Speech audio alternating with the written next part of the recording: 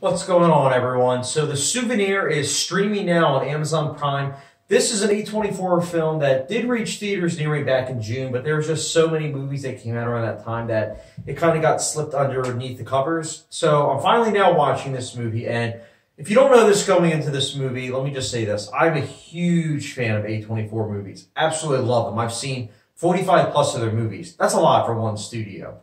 Um, so I was very much so excited to watch The Souvenir, especially given the premise. The premise is about a young film student in the early 1980s who becomes romantically involved with a complicated, uh, also untrustworthy man.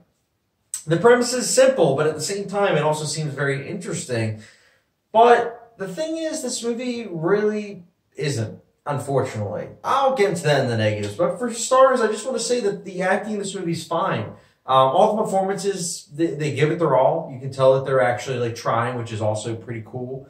Um, I liked the fact that this movie was, you know, ambigu- ambiguous and ambitious with its directing.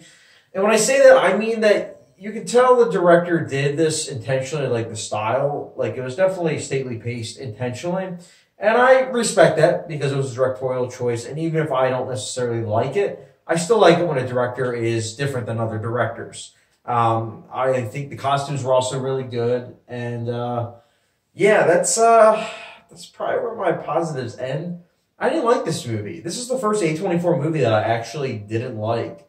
Um, I was surprised at how uninteresting the story, plot, characters, um, cinematography, music, or lack thereof. There's just so many things that I was surprised at how uninteresting it was. And I know that with A24 movies, I always say that when you're watching a movie, it's all about your experience in life. That's all about where you're coming from, you know, the mood that you're in and all that. And I don't know, maybe I just wasn't in the mood for this movie. And, or maybe it's just like, you know, my experiences with life aren't, you know, as similar in the case of these characters.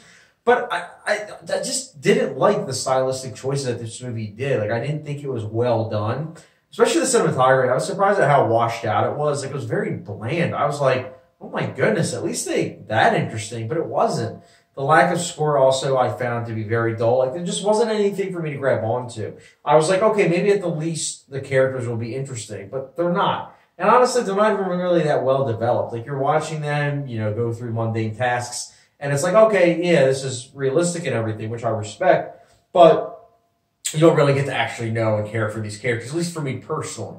So that's why, quick review, I didn't like this movie. Again, I personally had some qualms with it. But again, you might watch the movie and it might blow you away. It might really mean a lot to you. And that is completely okay. It's just for me personally, based on my experiences in life, um, as well as just how I took the film personally, I didn't really like it. Maybe I'll watch it in a couple years from now. Probably not, but maybe I will. Maybe I'll love it. I, I mean, I, I always go back to Moonlight. You know, I didn't review Moonlight on this channel. Well, I did later on after it came out, but Moonlight was a movie that I saw in theaters and I liked it, but I didn't love it. And then I rewatched it and I loved it, you know. So who knows? But for now, The Souvenir, I didn't like it. I think that the acting's fine as well as the cast. I like that it is, you know, ambitious in its directing with its being different. But at the same time, I still can't, you know, give this a recommendation because of all the things I said. And that's why for me personally, The Souvenir, I'm going to give it a two and a half out of five star rating. Um, yeah, I, I, didn't like this movie, and usually I agree with the critics. So that's what was what really made me surprised, as well as the fact that it's an A24 film.